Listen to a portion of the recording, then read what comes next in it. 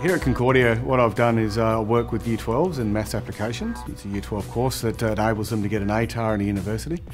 And what I've tried to do is design a course where kids can work at their own pace, can work in their preferred mode of learning, um, and still meet all the rigours of a Year 12 course. So I've created uh, a number of podcasts or screencasts that cover the entire course, and it's all linked together via a website so the kids can access it from anywhere, anytime.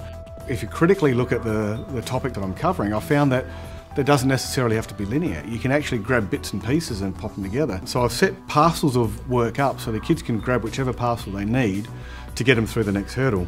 When something is explained in class by the teacher, if you um, go home and maybe forget what they've said, there's always a screencast there which you can refer to. Because I can just hop onto YouTube and just watch um, Mr. Francis go through it again.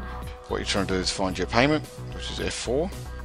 And so we have a payment of $2,955. I can pause it and I can read through the example again if I need to. So it's quite, yeah, beneficial for my style of learning. So if kids want to work by themselves, they can. If they want to work in small groups, they can. If they want to work um, as, a, as, a, traditional classroom with me doing some stuff on the whiteboard, away they go, they can do that as well.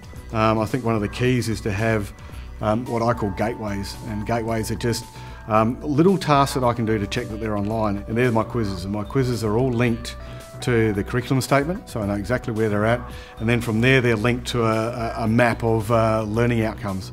So I can pick any kid at any time and know exactly where they're at and what they've done and what they haven't done. So then um, I've got a, a, good handle of where they're tracking and whether they've missed something, and then I can kind of prod them in that area. You want to be able to stretch the kids in the class that need to be stretched, and you want to reinforce the kids that are struggling. And in this kind of environment, it seems to work flawlessly.